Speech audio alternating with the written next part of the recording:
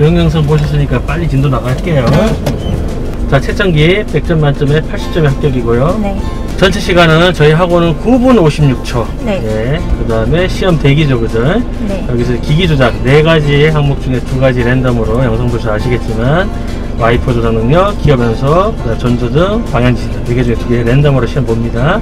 그다음 저쪽 아까 우리 처음에 차 출발하는 데 있죠? 네. 거기서 출발을 해서 경사로, 그 다음 교차로 두 번 통과하고요. 한 번 통과, 직각 주차 한 번, 그 다음에 다시 교차로 통과. 그 다음 과속 구간 돌발은 다섯 군데 중에 랜덤으로 한 군데 랜덤으로 나오고요. 그 다음 종료까지 해가지고 네, 9분 56초에 끝내시면 됩니다.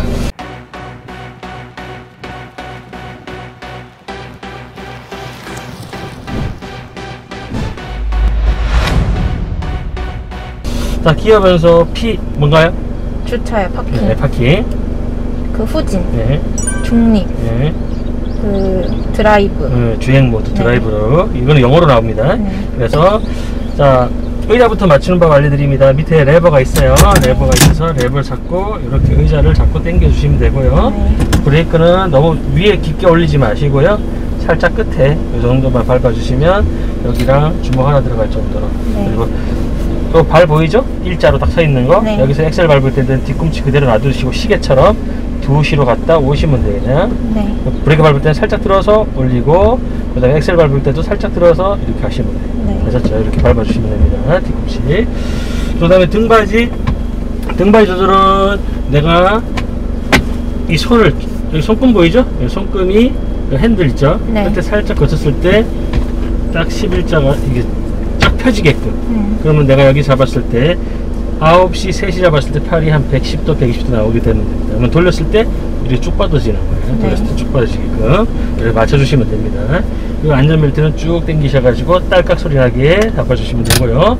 요게 풋 브레이크, 요게 주차 브레이크예요. 앞바퀴 브레이크, 뒷바퀴 브레이크. 네. 자전거에도 브레이크 두 개 있죠, 그죠? 네. 똑같이 브레이크가 두 개 있습니다. 자, 주차 브레이크 내리실 때는 브레이크 뭐 밟고 내리고 막 이런 데 상, 상관없어요. 음. 올릴 때만 밟고 내리시, 올리시고, 그거 말고는 그냥 편하게 살짝 들어 올리면서 버튼 내리시고, 올릴 때는 그냥 올리시면 돼요. 따다닥.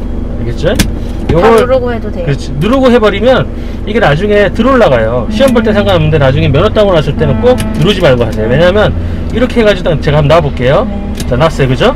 한번 더 올려볼게요. 돌아가나 안 올라가나? 음. 올라가죠. 이렇게 해버리면 들 잡힌다는. 네.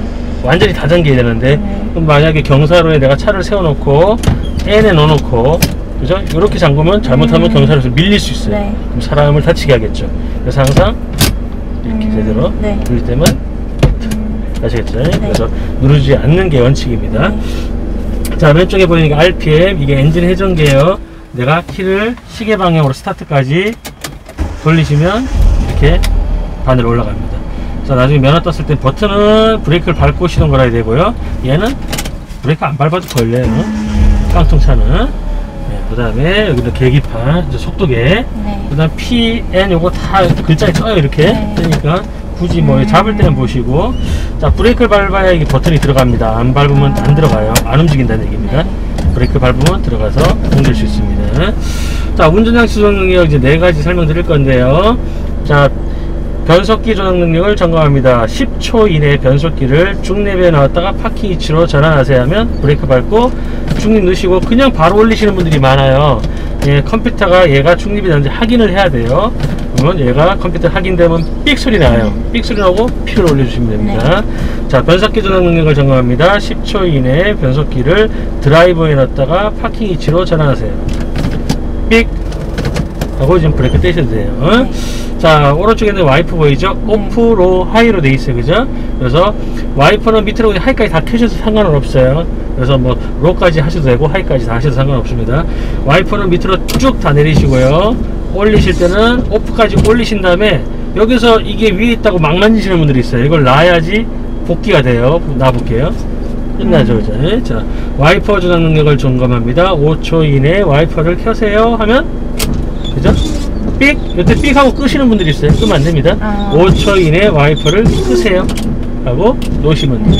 아셨죠? 네. 자, 여기는 아까 P로 놓으라고 말이 나왔고, 얘는 그냥 켜라고만 했기 때문에 끄시면 안 된다는 얘기입니다. 끄라고 하면 끄고, 켜라고 하면 켜고, 요자로 다 동작을 하시면 돼요. 네. 자, 왼쪽에 보이면, 여기도 오프 등 있죠. 네. 등이 다른 다른 모양이 있습니다. 여기는 화살표가 있죠. 네. 그래서 등화 장치가 여기 달려 있는 거예요. 왼쪽에 있는 건 등화 장치인데 이 화살표는 방향 지시등. 요거는 전조등이에요. 그래서 이 화살표를 시계 방향으로 이렇게 밀듯이 밀면 우측 방향 지시등. 끌 때는 그냥 살짝 툭 치시면 돼요. 이때 툭 치시는데 밑에 살짝 닿으면 이렇게 등이 들어올 때가 있어요. 이렇게 음. 등이 들어오면 어 이게 안 껐나 생각하지 마시고 잠시 후 전기가. 전기가 세 번 정도 들어가니까 음. 당하지 마시고 꺼진 거니까 키고 끄시면 됩니다. 방향지도 조작 능력을 점검합니다. 5초 이내 자, 우측 방향지를 켜세요 하면 켜시고 5초 이내 방향지를 끄세요 하면 끄시면 됩니다. 네. 자, 그 다음에 등 보이죠 여기 점 네. 점이 오프 지금 꺼져 있는 상태예요. 여기서 하나 올리면 여기에 미등 음. 후미 후미 뒤쪽에 들어온 등이라고 하죠. 시험에는 안 나와요. 두 칸을 올리면 전조등이에요. 전조등은 야간에 달릴 때 켜는 등이라 해서 야간 주행등이라고도 하고요.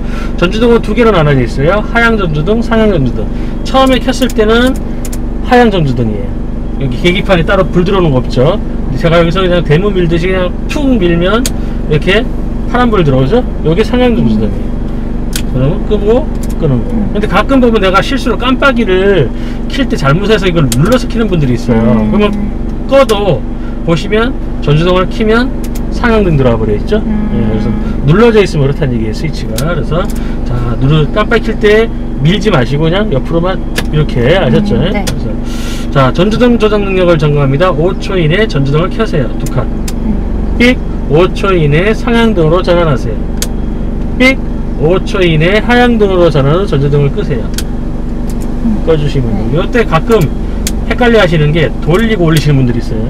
반대로 하시면 안 됩니다. 아 예. 올리고. 예, 하향도로 바꾸고 네, 네. 하향도로 바꾸고 끄는 거예요. 이건 네. 끄는 거니까 네. 키고 끄는 거니까 예, 이렇게 되어 있습니다. 그래서 여기 채, 채점기를 보시면 색깔이 세개 있죠. 네. 주황, 초록, 어, 그다음에 파랑 있죠. 파랑은 과제를 수행해야 되는 거고 주황은 지금 하고 있는 과제를 음. 하는 거고 초록은 끝난 거예요. 예, 이렇게 회색으로 바뀌면 실격이 거고 음. 그래서 이렇게 되어 있다는 거.